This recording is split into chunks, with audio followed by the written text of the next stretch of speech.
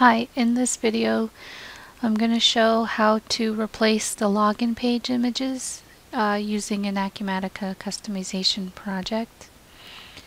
So to start we'll need to have access to a local instance of Acumatica where you can access the instance folder.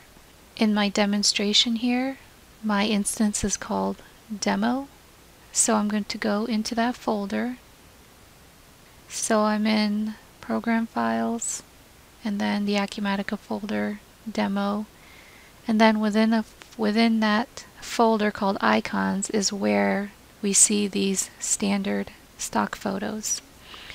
So what I'd like to do is to be able to create a customization that contains these photos and be able to publish it on a different site. So let's get started. And just a note that the instructions I'm using here were provided to me by Acumatica support. So if you get stuck, they can help. So the first thing I'm going to do is I am going to copy these photos that I've downloaded into a folder that I've created called Icons Customized.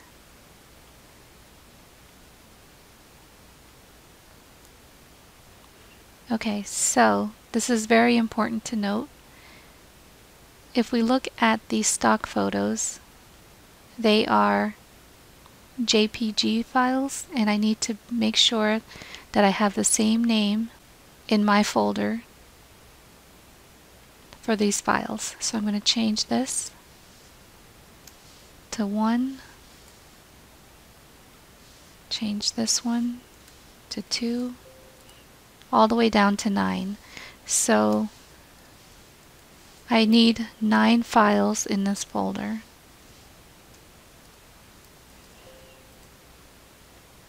Okay, so now I'm ready to go into Acumatica and I'm going to create a new customization. I'm going to call it login page images. I'm going to click save. I'm going to click the link to open up the customization project. I'm going to go to Files, Add New Record. So here are my files. One, two, three, four, five, six, seven, eight, nine. I'm going to hit Save. Then I'm going to go to File, Edit Project XML. Each file is listed here. What I need to do is remove the word customized from this path and then add system file equals double quote true double quote. I'm going to copy this and then I'm going to add it to each line here. Okay, the next step is important. I'm going to click Save to Database. Now I'm going to validate the current project.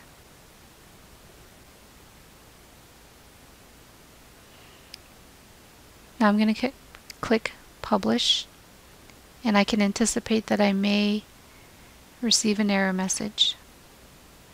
Okay, so in this case I did not. So I'm going to go ahead and close it. And I'm going to log out of Acumatica. And now you see my images here.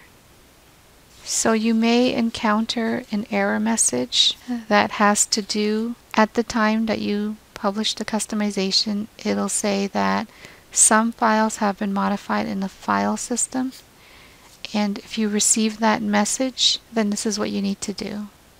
You'll have to go into the customization project.